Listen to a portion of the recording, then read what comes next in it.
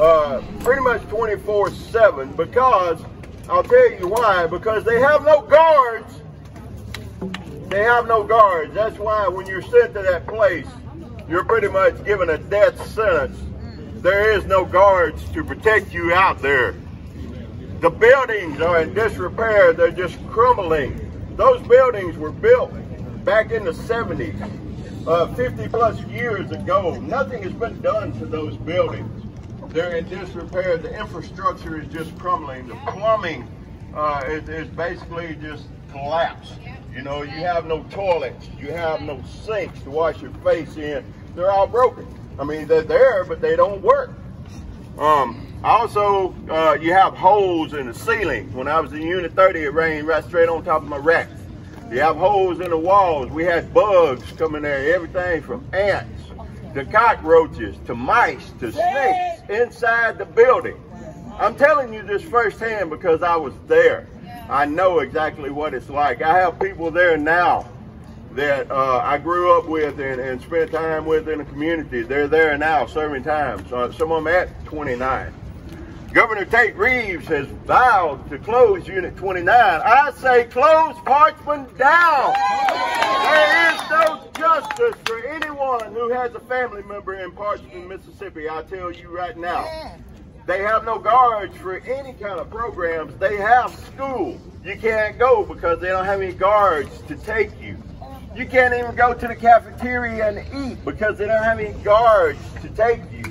You're in a cell 24-7. You're not allowed to go out and exercise or get sunlight because they have no guards. All right.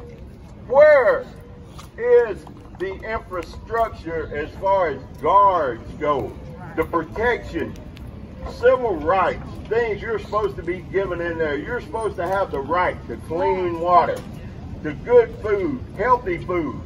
That stuff they feed you is full of carbohydrates. It's nothing but junk. I'm telling you, I was there. I ate it. I know. And also the water is pitiful.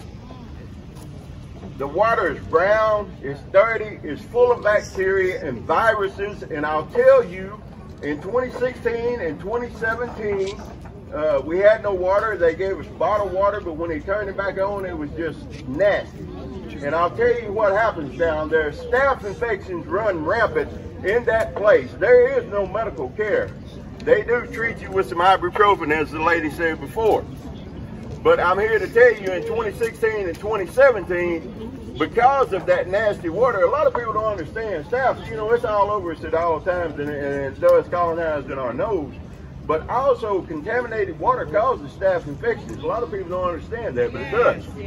And uh, so it ran rampant in 2016 and 2017. I know for a fact I can take my shirt off and show you the. Increasing free people's prison sentences up to 25 years. Oh, no. What did he say? Said no. No. No. No. Thing. When I saw it, I saw my eye. I was like, she told me that you had to be out here with that sign. We know that to I must not know who he is. inside even more. So that they I'm finna go get a picture of it, don't worry. He outside the governor's mansion, this is the KKK meeting. You right. He Well, they protect, don't say meeting, but it's a Yeah. meeting spot. yeah, that he protect. well known as the Mississippi Department of Corrections. But we as community have known for years, and they as government have known. Yes. And now we're standing up.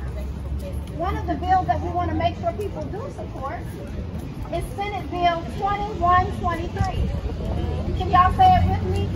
Shut it down! Shut it down! Shut it down! Shut it down! Shut it down! Shut it down! Mountain babes, right? Babes. Yes. Thank you. Thank you. Thank you for sharing that. I'm going to open it up for others to come up and share their stories. You know, what our young brother just talked about right now, what Cutlass just shared with us, is a reality in some other countries. And unfortunately, we don't know that reality here.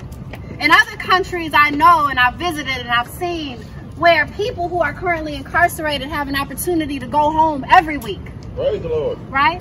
Every week as a way to reintroduce them into society so that they can be productive. Right. Not only do they get to go home, but they get to begin to work the Lord. in their regular clothes Amen. to make a living to support their families. Yes. And yes, they may have to go back to the prison cell at night, but they get to see their families, Amen. right?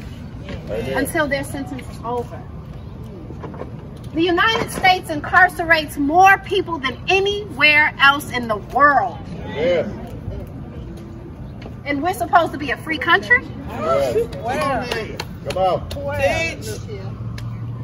We have to start to continue and continue to demand some change. Yes. Not only in Mississippi, but everywhere. But we Yeah. starting at home. Come Yes. on up. Who's coming up next? I'm coming. All right.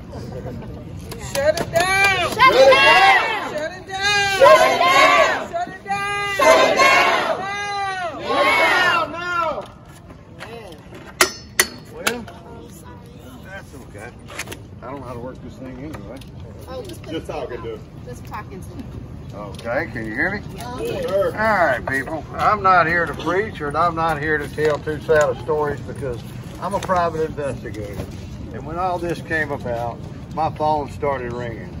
I have not slept in almost a month. Almost a month, day and night. I have had tears of mothers, children, brothers, fathers, sisters, and loved ones of inmates call me. I have seen the video of the blood, the gore, the pictures. I have them on my computer. Yes. I have, have nightmares every single night. My PTSD, and I have PTSD as a veteran, I have PTSD. And I want you to know that there is a way to do this, and we can do this. They have to be voted out. I have in my hand uh, 50 voter mail-in voter restoration forms. Now, as people come out of prison or go into prison, they are told that they will never be able to vote again.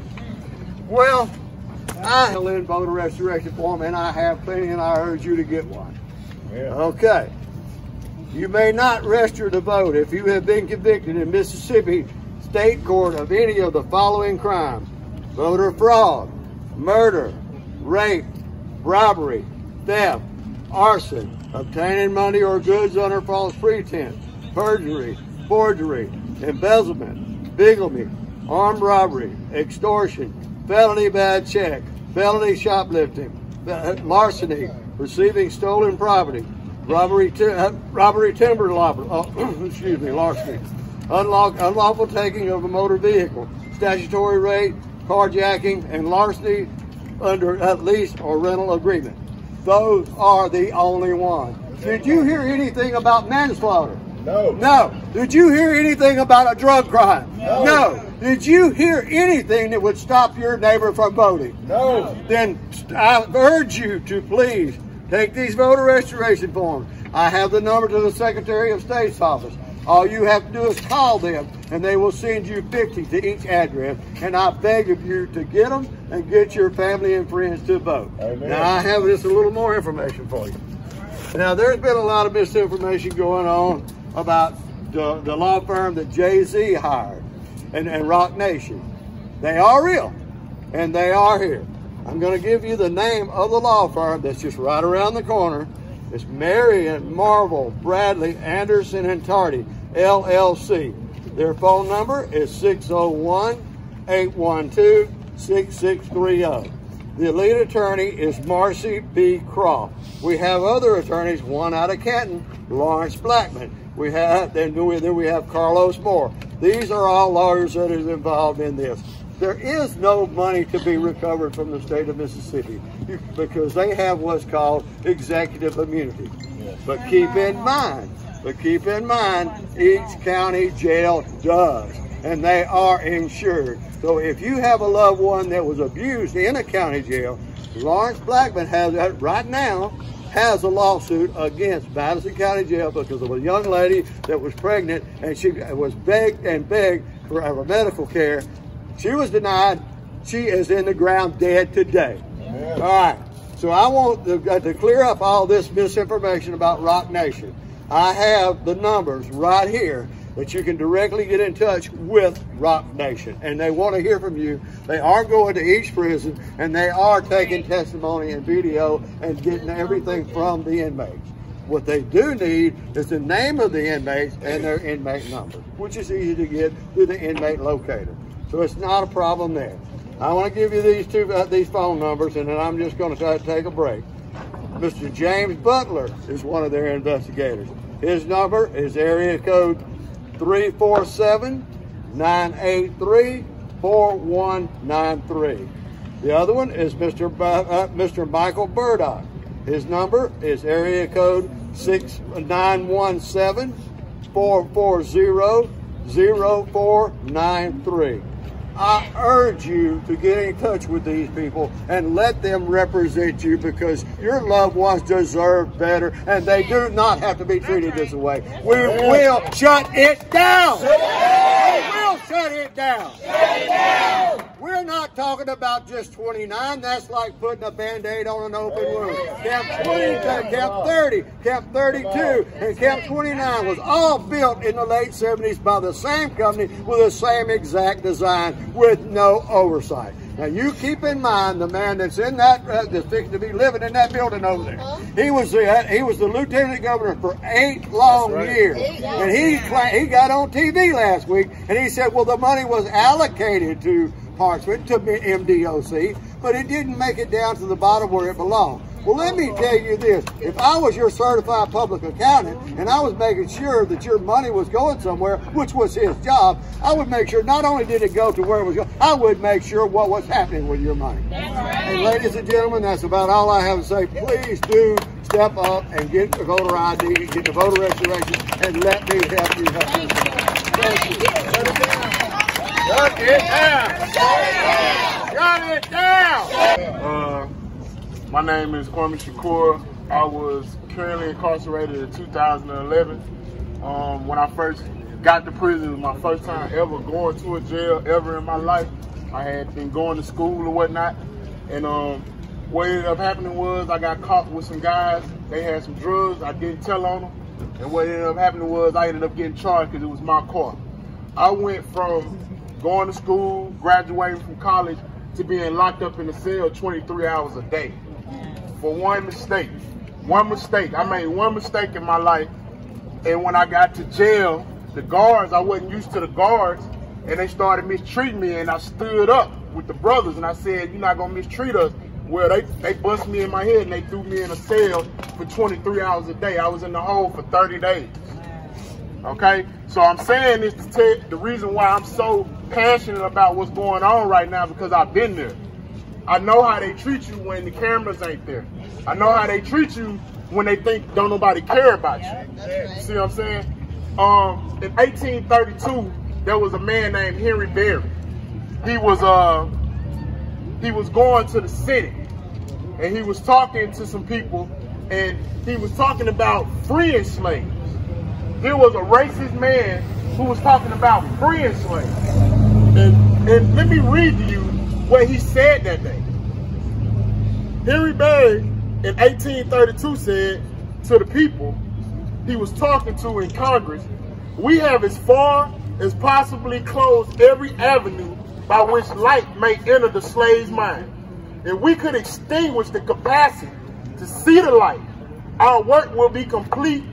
They would be on the level with the beasts of the field, and we should be safe. So when you see these these these prisons, when you see what's going on in this society, this is by design, y'all. Yes. This is by design. They've been trying to keep us. Amen. Did you hear what he said? He said he wants to close the light out. That's what they're doing every time they recreate Yeah. what's going on. That's what they're trying to do in Parchman Prison. They're trying to close the light inside of the prison, Speak on it. inside of the men, so they can be on what the level of the beast. So what? What did he say? So they could be safe. Because they know if you if you if you become intelligent, if you wake your mind up, That's right. then they got a problem. They got to deal with you. See, this is what happened back in the 70s, in the 60s with the Panthers. This is why they gave us Superfly. This is why they gave us all these, these black exploitation films. This is why they promoted NWA instead of Public Enemy. That's right. Because they want to extinguish brother. the light inside of you. They want to extinguish the light that will tell you that you are more than just a beast. Amen. The brothers out here, what do they call themselves when they want to be considered gangster? They say I'm a savage. I'm a savage. I'm on the level of a beast. I'll do anything to. And this is where they want us at. So for all you brothers and sisters, no matter what color or creed, let's fight this thing. Because we're more than beasts. Shut it down. Shut it down. Shut it down. How y'all doing today? Shut it down! Shut it down! Check it out, I ain't gonna hold y'all up real long. Speaking for my brother still incarcerated, you know what I'm saying, on these sentences, man. I'm stressing y'all vote Senate Bill 2123. Know what I'm saying? Free my brothers that been locked up since 94 in between that 2014 range that's doing 85% of their time. A lot of these brothers that need another chance, you know what I'm saying? I'm out here trying to be a positive role model that people deserve another chance. Y'all know the story. I was sentenced to life in prison. I did 19 years in MDOC. So I'm speaking from the brothers for experience, you know what I'm saying? Speaking from these these situations that brother was describing right there, I done been through that, you know what I'm saying? God made a way for me and brought me out, but he ain't bring me out to be quiet about it and he ain't forgive me and he ain't bring me out to forget where I came from. So I'm out here every time trying to promote vote these people out. If these people representing us ain't doing what we need them to do, vote them out. And hey, I can't help it, man. I don't want to offend none of y'all or nothing, but hey, you know where we from, Mississippi, and man, we got to change our mentality. You know what I'm saying? Look, most of these laws affecting the black people weren't wrote by no black people. Now we got black people in power to change it. We need to change it, man. That's right. Come on. Give it up y'all. We got brother Akinola Gonzalez. Shut it down! Shut it down! Shut it down! Good afternoon, everybody. Uh, I'm a student at Jackson State University. My name is Akinola Gonzalez. Uh, I'm originally from Chicago. And it's like, uh, it's honestly like this everywhere. It's just not Mississippi. It's uh, things that we just have to wake up and realize that we just can't show hatred to a random being that's walking on this earth. We have to be here for all men and all women, and we have to stand strong, and we have to also come together. Like, rival gangs. I don't know nothing about the gang life, but I, I see it's a lot of hurt going on and it's a lot of confused kids out here because they don't really know who to follow because all the people that actually started the organizations is not no longer running the organization. So it's like you can't put your time and your energy into something and you're not really knowing what you're putting your time and the energy into because it's bigger than what you think and it's bigger than all of us. That's all.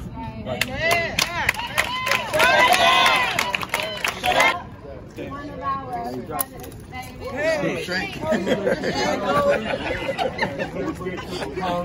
I was only in this cage for an hour.